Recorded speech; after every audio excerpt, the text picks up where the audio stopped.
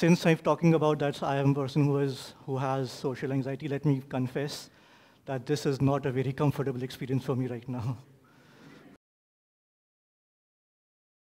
So, okay, so self-expression is an expression of our inner thoughts, feelings, and ideas.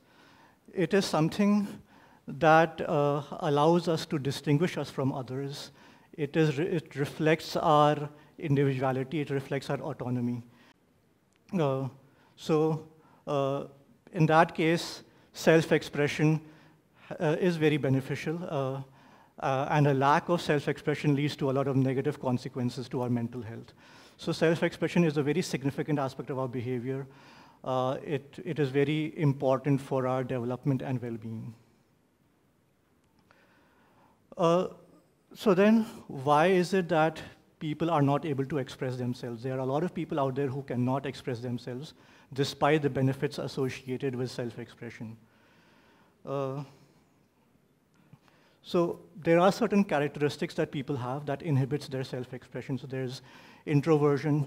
Introverts are people who, who, who have a lot of difficulty in expressing themselves uh, in front of others because they get very stimulated in social situations, uh, which makes them easily drained out. So they prefer to keep to themselves. And because of that, they have very limited opportunities for self-expression. Then shyness is uh, social inhibition. Uh, people who are shy, they, uh, they are very fearful in social situations. And because of that, they tend to avoid interacting with others, uh, uh, which of course then does not give them opportunities to express themselves properly. Then social anxiety uh, has, involves a very irrational fear of embarrassment, a fear of being negatively scrutinized by others. And in social situations, they become very fearful, they become highly anxious.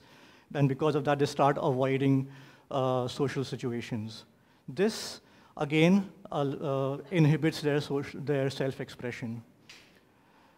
Uh, then trait loneliness. Trait, trait loneliness involves traits that inhibit social interaction. So, for example, somebody may be melancholic, somebody may be timid, which does not allow them to connect well with, with others. And irrespective of the situation, they feel lonely. They feel very lonely no matter how, no matter what the situation might be. Uh, and again, because of that, of course, they are not able to express themselves pro properly. They, are, they always have this unfulfilled need for intimacy. Then depression. Uh, depression involves uh, sadness, uh, low energy, uh, automatic negative thoughts, and hopelessness. And because of this, people who are depressed, they tend to live a very isolated life. Uh, and because they live an isolated life, they get very little opportunity to express themselves uh, with others. Uh, and if I make a confession, all of these characteristics are, are associated with me. So this is, I'm talking about myself in some way. Apart from these characteristics, uh, uh what, has been found in urban settings is that uh, people are very distant, have become very distant from each other. And this is because people have been focusing a lot on their uh, individual goals instead of the relationship-oriented goals. Because of this, then, uh, people do not experience uh, uh social support, uh, and uh, they feel alienated from others. They have a low sense of community. they feel very alienated from others. And due to that alienation, they experience a sense of emptiness and meaninglessness. So, so, so they are not able to express themselves properly. So especially is what has been found in the past few years, people in urban settings are uh, living a very isolated life. They are too much involved in their work, but uh, not being finding enough time to build proper relationships.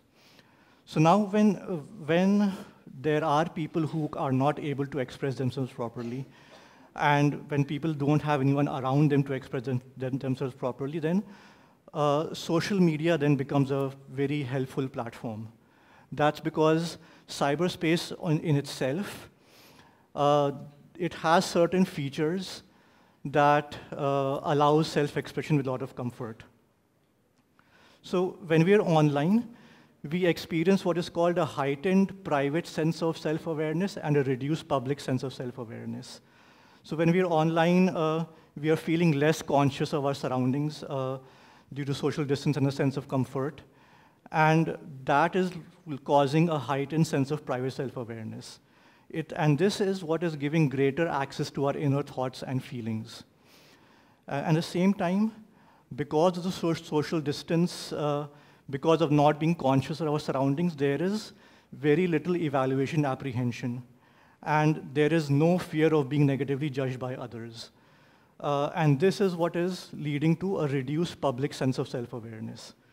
Now, the social psychologist Adam Joinson, uh, he, through his research, he found out that when a heightened private sense of self-awareness and a reduced public sense of self-awareness are combined together, then that leads to a lot of self-disclosure, which cannot be seen uh, quite often in face-to-face -face situations. So this aspect of cyberspace is allowing people to express themselves a lot more as compared to face-to-face -face interactions. Then uh, what has been found, uh, the computer-mediated communication expert Joseph Walther, he suggests that uh, a feature of cyberspace is that it involves hyper-personal communication, that we are, talk, we are expressing too much about ourselves in cyberspace. So because of asynchronous communication, that is allowing us to take our time in responding to others. The responses are very well thought out, and we have a lot control over our, uh, whatever we are trying to convey. And this psychological comfort that, is, that, is, uh, that we are getting because of this it becomes very easy for us to reveal ourselves in front of others. So, and again, much easier as compared to face-to-face -face interactions. Similar to this, there's this concept given by the cyber psychologist John Suler. Uh, it's called online disinhibition effect. And this suggests that when we are, when, whenever we're online, uh, we are very less restrained. Uh, we loosen up, and this helps us to express ourselves in a much better way. Uh, and it has been found that when, when online people are revealing a lot more personal information about themselves, which they again may not be able to do in their face-to-face -face interactions. Then uh, uh, cyberspace also allows us to reveal a lot more about our true self. The concept of true self was given, up, given by the uh, humanistic psychologist Carl Rogers. And true self includes aspects of, of ourselves which we are not able to fully express in our social life. And uh, the clinical psychologist and the personality psychologist, Sherry Turkle, she su suggests that cyberspace provides an opportunity to, to, uh, for people to reveal their inner conceptions. So the features of cyberspace are allowing us to reveal our true self.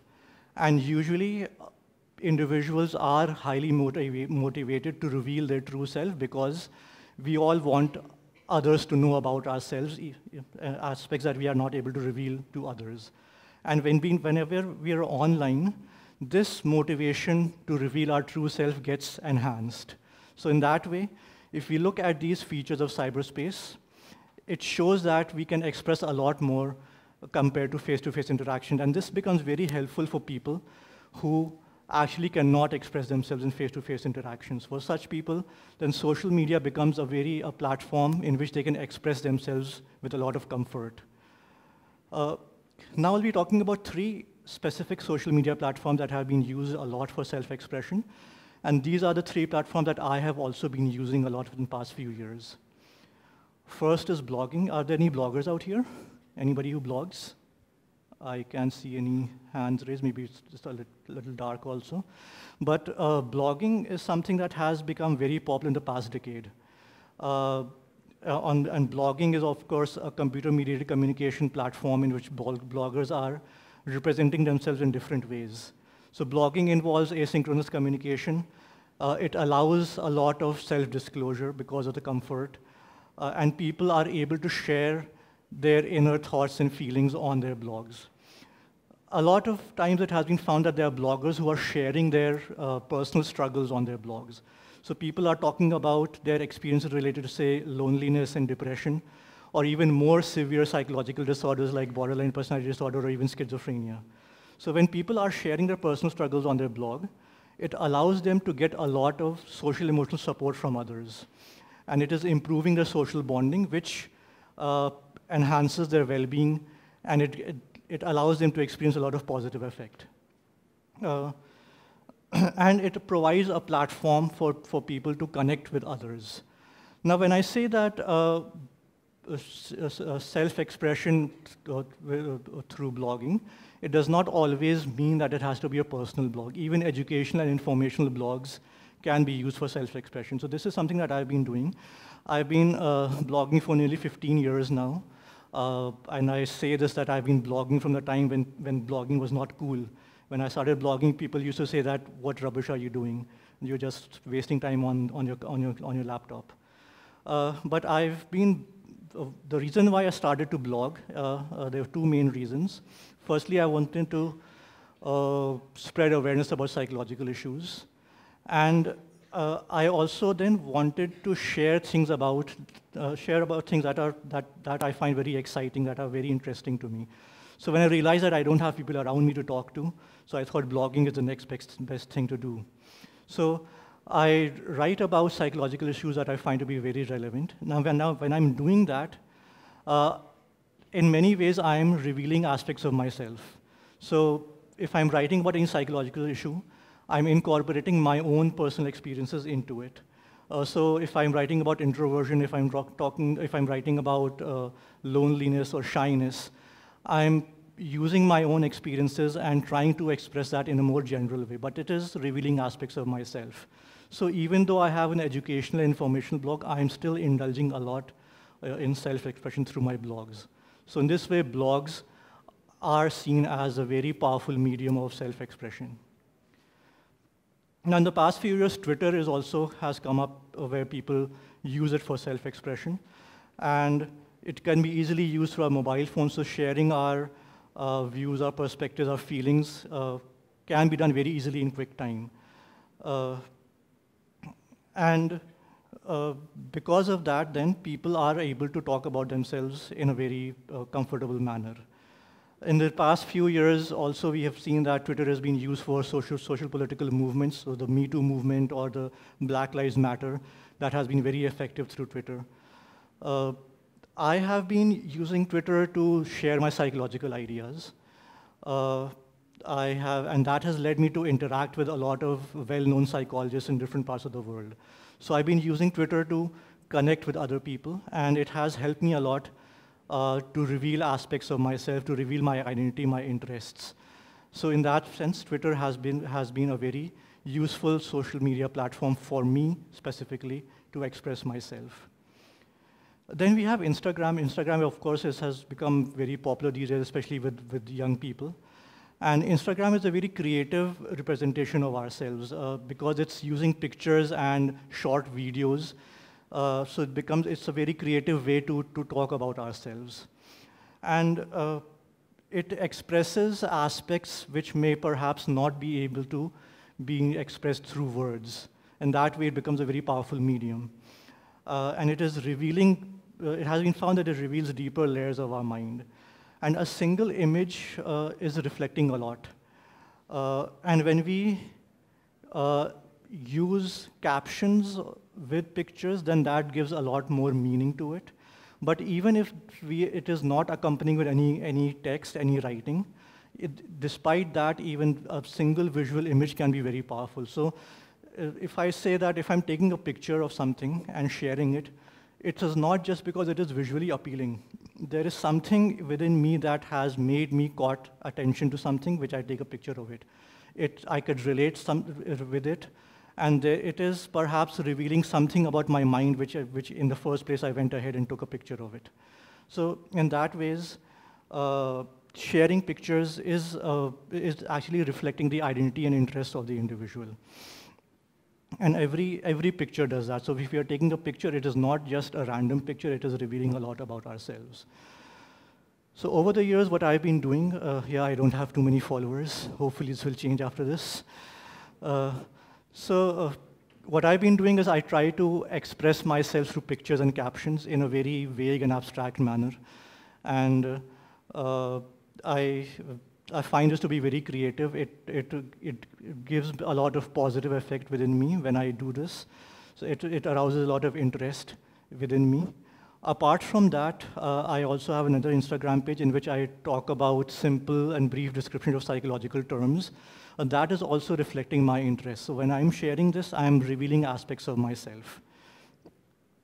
So over the years, uh, these three platforms have become uh, very useful for self-expression, especially for people who cannot express themselves properly. So for someone like me who has always been very hesitant, uh, social media has given me that platform where I can talk about myself, reveal aspects of my personality in a, in, with a lot of comfort. So it can be said that social media has given voice to my voicelessness. Apart from that, uh, not just online. So when I'm expressing myself, it is, it is giving me a sense of confidence. And that confidence has led me to go out in face-to-face -face situations and interact with others. It has enhanced my communication ability. So, so being a very hesitant person, being able to express myself online, it has helped me to express myself in face-to-face -face situations. So perhaps that is what eventually led me to get into teaching, uh, where almost every day I have to talk with a group of people. Uh, uh, it, and, and, over the years, I've been delivering a lot of lectures. I've been conducting workshops. I've even now started my podcast, which something was unimaginable for me some years back. And now, after all of this, today I am uh, giving this TEDx, TEDx talk in front of everybody. So I think if I can do it, anybody else out there can also do this. Thank you very much.